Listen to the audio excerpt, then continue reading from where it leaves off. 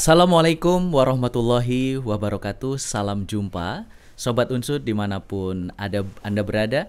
Bertemu lagi dalam acara podcast Kabar Unsut dan kali ini kita akan menyapa narasumber yang luar biasa yang kita akan membincangkan tentang rekognisi pembelajaran lampau dan telah hadir bersama kita Direktur Pasca Sarjana Universitas Jenderal Sudirman, Profesor Dr. Rernat Imam Widiono MZMS. Terima kasih, Mas. Apa kabar, Prof? Alhamdulillah baik. Baik dan selalu semangat dan menyemangati sepertinya ini, Prof Imam. Ya, baik, selamat, happy. Baik, terima kasih dan uh, Sobat Unsur di mana pun Anda berada pada episode kali ini kita akan membincangkan tentang salah satu jalur masuk di Universitas Jenderal Sudirman yaitu melalui rekognisi pembelajaran lampau. Nah, uh, berdasarkan peraturan Menteri Pendidikan Ristek uh, Dikti nomor 41 tahun 2021 tentang rekognisi pembelajaran lampau itu menjadi salah satu jalur masuk mahasiswa, Prof. Ya. Sebenarnya RPL itu apa gitu, Prof? Mungkin bisa dijelaskan. Ya, terima kasih. Saya nyebutnya mas-mas mbak-mbak ya yang Siap, Prof. eh, apa bergabung dengan podcast kami. Jadi rekognisi pembelajaran lampau sebenarnya itu sudah diamanatkan oleh Undang-Undang 1212 tentang perguruan tinggi. Namun demikian apa ya peraturan teknisnya baru tahun 2021. Nah, apa yang dimaksud dengan rekognisi pembelajaran lampau adalah salah satu metode di mana program ini adalah mengakui kompetensi teman-teman ya, menjadi pengakuan kompetensi menjadi SKS. Ya. Jadi teman-teman yang sudah bekerja atau memiliki pengalaman, nah pengalaman inilah yang nanti direkognisi menjadi SKS. Seperti itu. Berarti eh, gambaran gambarannya misalnya seperti ini. Ada seseorang yang sudah bekerja, misalnya ada orang pernah lulus S1 kemudian sudah bekerja, memiliki pengalaman pekerjaan dengan berbagai bidang, itu nanti pengalaman pekerjaannya bisa eh, dinilai dan bisa diakui jadi SKS, Prof. Ya betul. Jadi saya ngambil contoh karena eh, sudah berjalan satu semester ya, dan di kami khususnya magister ilmu lingkungan itu banyak teman-teman yang sudah mempunyai pengalaman. Contohnya begini, eh, seorang penyuluh kehutanan, dia mempunyai pengalaman tentang pengelolaan hutan, tentang konservasi hutan, tentang pemberdayaan masyarakat, dan sebagainya. Nah ini pengalaman-pengalaman ini diajukan ya, dalam bentuk portofolio. Nanti kami tim, ya, tim penjaminan mutunya itu nanti akan menilai apakah pengalaman yang diajukan itu bersetara, ya, bersetara dengan SKS mata kuliah tertentu. Jadi ada proses, ya, ada proses di mana teman-teman itu mendaftar, kemudian sudah mempunyai e, portofolio, sudah mempunyai sertifikat, sudah mempunyai pengalaman kerja, gitu. Atau salah satu di antaranya itu diajukan ke kami. Nah, nanti kami akan menilai berapa SKS yang bisa didapatkan oleh seorang mahasiswa RPL ya, di dalam satu semester atau dua semester. Oh saya sudah dapat 14, berarti tinggal ngambil 12. Oh saya sudah dapat 17, oh berarti saya tinggal ngambil uh, seperti itu mekanismenya. Baik, sepertinya ini uh, sangat menarik terutama bagi sobat unsut yang ingin merencanakan melanjutkan studi tapi sudah bekerja ini ya, Prof. Yeah, Artinya yeah. pengalaman kerja itu menjadi diakui dan bisa dikonversi berdasarkan hasil penilaian Yeah. oleh tim penilai Yeah. berarti ya, Prof ya. Baik, eh, mungkin juga bisa diberikan gambaran nih, Prof, secara umum untuk eh, sobat Gensut semua. Kalau seperti itu berarti eh, apa sebenarnya keuntungan atau mungkin kelebihan dari program RPL ini, Prof? Jadi begini, keuntungan utamanya sebenarnya begini. Pemerintah itu beritikat baik ya. Ketika teman-teman ingin melanjutkan jenjang eh, berikutnya. Ya. Lah, untuk memperpendek waktu studi atau mem- apa menghemat pembiayaan, maka seseorang itu yang sudah bekerja maka diakui pengalamannya. Ini fasilitas utamanya di situ. Sehingga teman-teman yang sudah bekerja, misalnya ini, misalnya menjadi guru bidang ilmu biologi lah. Itu pengalamannya apa saja. Kemudian menjadi penyuluh pertanian. Kemudian menjadi penyuluh kehutanan, menjadi penyuluh perta, apa perikanan. Menjadi eh, apa? bekerja di BKSDA, bekerja di eh, BPBD. Mereka punya pengalaman banyak sekali. Yang kalau disetarakan atau kompetensinya itu sama dengan perkuliahan, kompetensi perkuliahan yang kita berikan. Sehingga keuntungan utamanya adalah bisa mengurangi jumlah beban ya SKS yang harus ditempuh Oh iya. karena pengakuan SKS-nya sudah. Lah sekarang sekarang S2 dengan peraturan yang baru itu kalau tidak salah itu 54 SKS. SKS. 54 SKS. Kalau ya, pengakuan Anda, pengalaman Anda sudah diakui sebesar 23 SKS. Berarti tinggal ngambil sisanya. Nah, sisanya bisa diambil begini. Untuk tesis berapa? Seminar proposal berapa? Katakanlah seminar eh, tesis 6 atau 8. Eh, seminar proposal menjadi 4. Sudah 12. 12. 12 ditambah 23. Sudah 35. Maka Anda cuma ngambil kuliah kekurangannya, SKS kekurangannya. Itu. Nah, saya beritahukan juga kami menggunakan metode ya supaya mendukung teman-teman itu bisa lulus tepat waktu itu kami membuat uh, praktek baiknya. Semester pertama seorang mahasiswa RPL itu sudah mengajukan judul. Semester pertama itu ya, Semester Prof, ya? pertama Oke, oke. mengajukan judul atau khayalan judul lah. Kemudian kami menetapkan pembimbing di semester pertama. Sehingga pada semester pertama mahasiswa ini bisa berkomunikasi dengan Pembimbingnya. pembimbing. Oke. Tidak baru pada semester keberapa baru eh, enggak, dari awal. Tentunya kita harus menyiapkan juga Bapak Ibu pembimbing yang siap berkomunikasi dengan mahasiswa, Mahasiswa. RPL. Nah, ketika ini sudah berjalan, maka akhir semester pertama mahasiswa RPL itu sudah harus seminar proposal. Akhir semester pertama Ya. ya, Prof ya. Wah, lumayan cepat ini jadinya, Ya. Prof ya. Oke. Sehingga semester kedua, kalau dia masih mangge- ngambil kuliah silahkan, kemudian bisa melakukan penelitian pada semester kedua. Harapannya awal semester ketiga dia sudah lulus. Karena nggak boleh sebelum semester dua selesai nggak boleh lulus.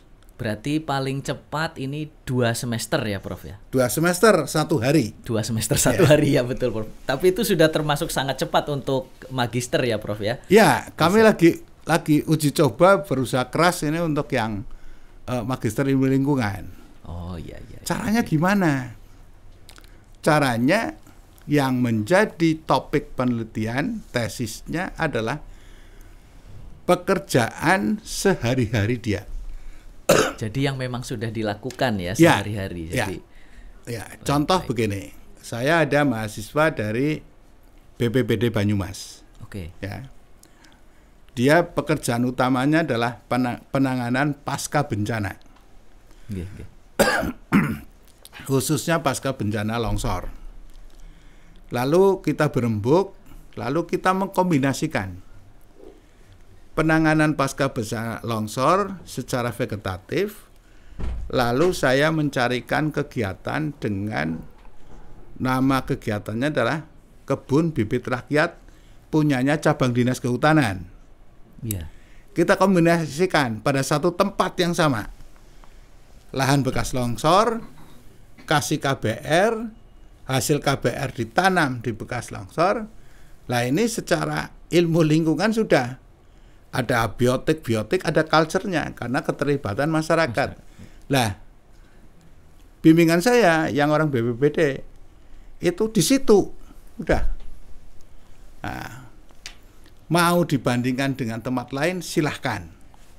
Tapi dia sudah punya kegiatan di situ, Iya. gitu.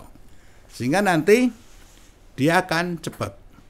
Kemudian ada lagi orang cabang dinas kehutanan, dia punya binaan kelompok tani hutan, ah, yang merancang kegiatannya adalah wisata alam. Oh iya iya iya. ya di kecamatan Kutasari Purbalingga. Oke. Anda lakukan itu. Setelah dia sebenarnya sudah berusaha itu bertahun-tahun ya. Tapi kan tidak pernah ditulis jadi tesis. Iya, betul. Nah, Hanya maka aktivitas tahun yang ini dilakukan. dia disusun berdasarkan apa eh, pola ilmiah ya cara, tata cara ilmiah lakukan nah itu jadi tesis dia nggak ke mana-mana di situ tiap hari ya berangkat kerja di situ urusannya itu dicatat datanya seperti itu Dan kelebihannya mereka sudah sangat menguasai itu karena memang dikerjakan Ya, sehari-hari ya, ya, Prof ya. ya. Ya. Baik, menarik sekali nih sobat Gensut. Jadi eh, ada peluang bagi mereka-mereka yang eh, sudah bekerja ternyata pekerjaan yang dilakukan itu tadi bisa diakui menjadi SKS melalui proses penilaian. Bukan hanya itu, ternyata tadi Prof Imam juga menyampaikan bimbingan dilakukan mulai mulai semester awal dan di akhir semester awal itu sudah bisa seminar proposal dan bahkan tadi ada eh, proses praktik baik yang dilakukan di pasca sarjana unsut di mana kemudian eh, menuliskan tesis dari apa yang biasa dilakukan sehari-hari ini saya kira sangat luar biasa dan kesempatan yang sangat baik buat eh, calon mahasiswa yang ingin mendaftar S2 melalui jalur ini. Nah, kemudian ini Prof, tadi kan eh, dari cerita yang disampaikan oleh Prof Imam ini sepertinya RPL ini adalah eh, jalur yang mengakui kompetensi mereka-mereka yang eh, mungkin sudah bekerja atau punya pengalaman yang lain gitu. Iya. Apakah nanti eh, mahasiswa yang masuk melalui jalur RPL dengan mahasiswa yang masuk melalui jalur reguler ini apakah prosesnya sama, kemudian ijazahnya sama atau jangan-jangan beda gitu, Prof? Mungkin eh, sobat Gensut bertanya-tanya tentang ini gitu. Silakan, Prof. Ya, terima kasih. Prinsipnya sama, ijazahnya sama. Hanya itu sianya beda. Sianya yang berbeda, tapi Ya kan? ijazahnya sama Ya. ya. Oh iya iya iya. Ada kode RPL gitu ya. Nggih, nggih. Di kodenya yang hafal Mas Wawan itu. Itu. Tapi bukan berarti dibedakan sama sekali enggak. Kuliahnya ya tetap sama saja. 16 kali tatap muka, ada tugas terstruktur, ada UTS, ada UAS. Sama persis. Berarti sama dengan proses yang dilalui mahasiswa reguler sebenarnya. Ya. Sama Prof. persis. Hanya saja Sama. untuk eh, mahasiswa RPL ini berarti ada SKS yang s- dianggap sudah diambil Ya. yang sudah dinilai itu Ya, tadi. ya. Oke, oke. Kemudian jangan sampai terjadi kekeliruan terjemahan. yang Baik, kita baik. takutkan ya seolah-olah RPL itu jalur cepat lulus Iya, iya, iya. gitu ya seolah-olah RPL itu yang penting dapat mahasiswa. Iya. Bukan itu. Karena apa? Semua prosesnya, ya, semua proses mulai dari pendaftaran sampai kita menetapkan SKS yang diakui itu kita dibatasi dengan sistem penjaminan mutu internal Oke. yang aturannya ketat. Ya. Sampai saya menilai, saya kebagian menilai 17 Calon mahasiswa. calon mahasiswa itu pusing tujuh keliling. Karena harus satu-satu dicek. Ya. Pengalamannya apa, apakah sesuai dengan mata kuliah ini atau tidak. Karena mahasiswa diberikan kewenangan mengklaim kesesuaian mata kuliah. Mata kuliah. Iya, iya. Kamilah yang menetapkan bahwa klaim Anda benar atau tidak benar. Oke, iya, iya. Itu. Berarti eh, di dalam prosesnya ini mahasiswa pada saat mendaftar, kemudian mereka sudah mendaftar, kemudian mereka melihat mata kuliah yang disediakan di Ya. rekognisi gitu ya, Prof Ya. ya. Eh, berdasarkan portofolio atau pengalaman mereka, mereka akan mengakui kira-kira yang mana yang menurut saya saya sudah Ya, lulus gitu ya. ya. Nah, pengakuan ini dinilai oleh tim penilai Ya, yang tadi Prof ya. Imam ceritakan. Saya membayangkan ini tim penilainya eh, ribet sekali ya Prof ya melihat satu-satu.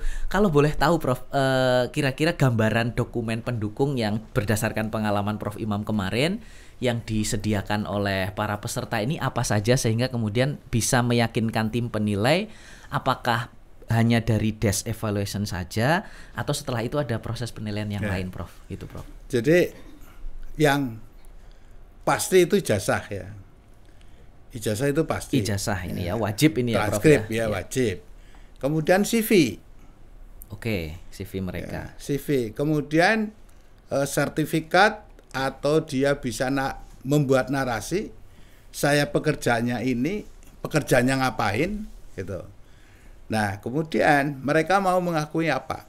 Jadi banyak sertifikat kompetensi. Iya. Misalnya seorang penyuluh kehutanan. Kehutanan, ya. Ya, dia sudah mengikuti pelatihan ini, sertifikatnya ini, sekian jam, ini, mengikuti ini. Itu kita akui semua. Ya.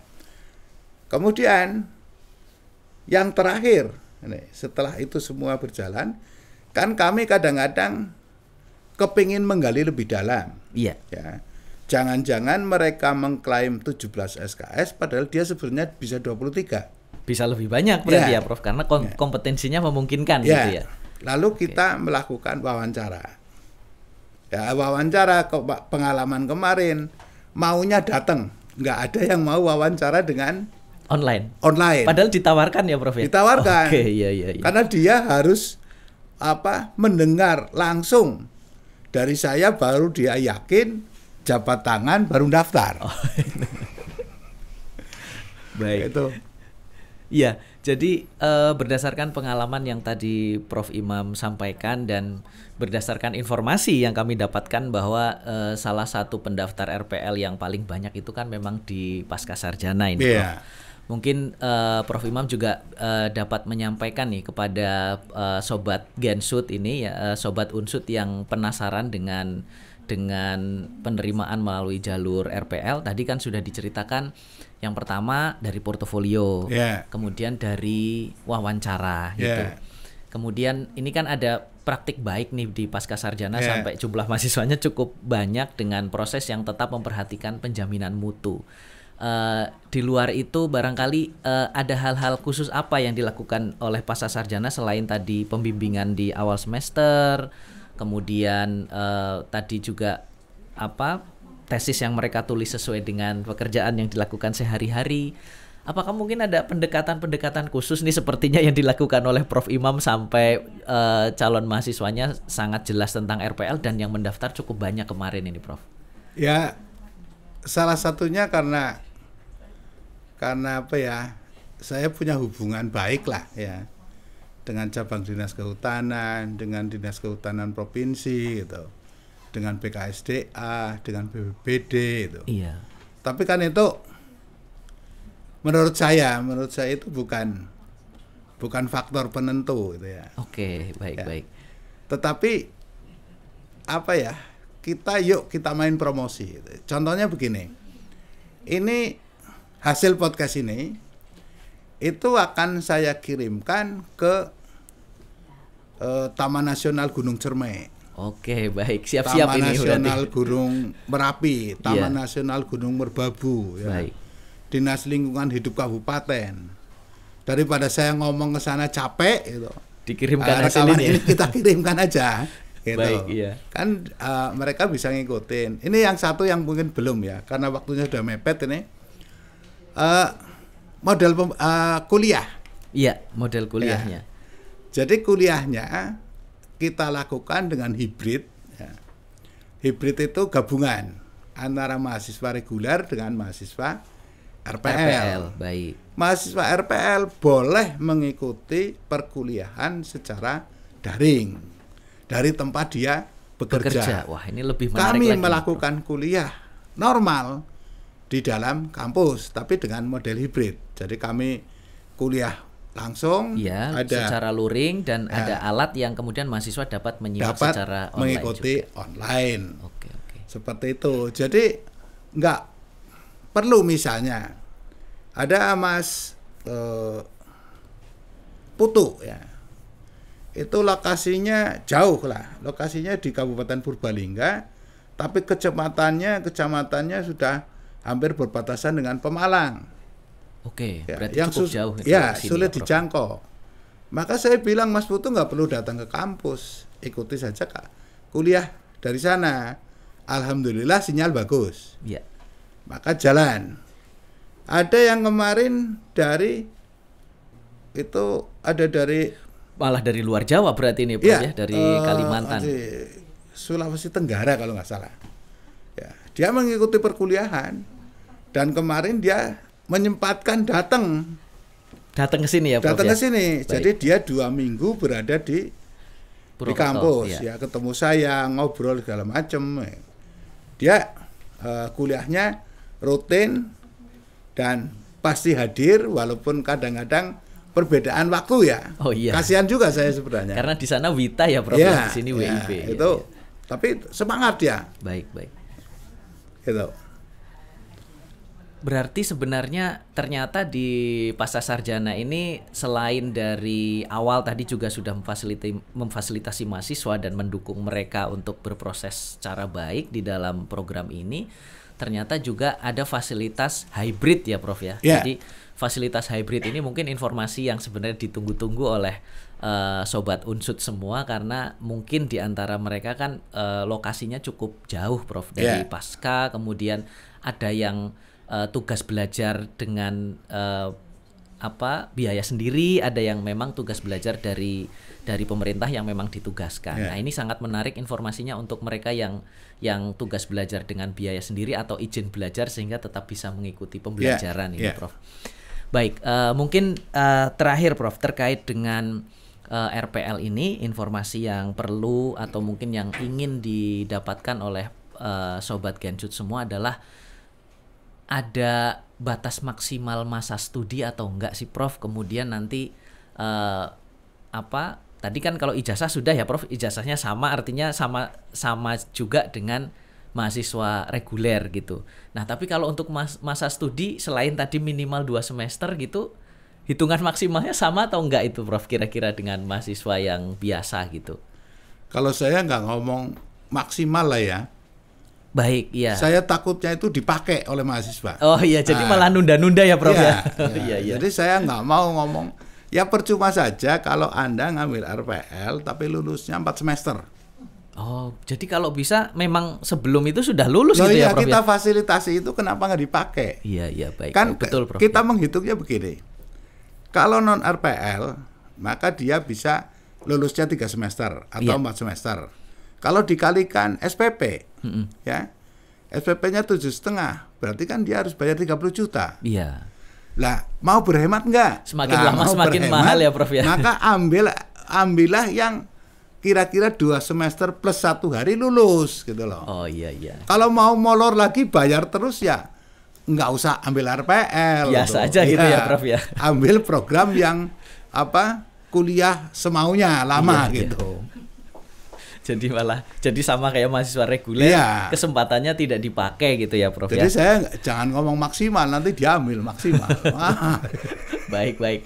Ya sobat Gensut ternyata eh, RPL itu eh, adalah merupakan kesempatan dan kesempatan ini harus diambil eh, oleh para calon pendaftar ya silahkan untuk dimanfaatkan dan terakhir silahkan Prof Imam barangkali sebagai closing statement ada yang akan disampaikan eh, kepada eh, sobat Gensut semua terkait dengan RPL ini silahkan Prof Terima kasih.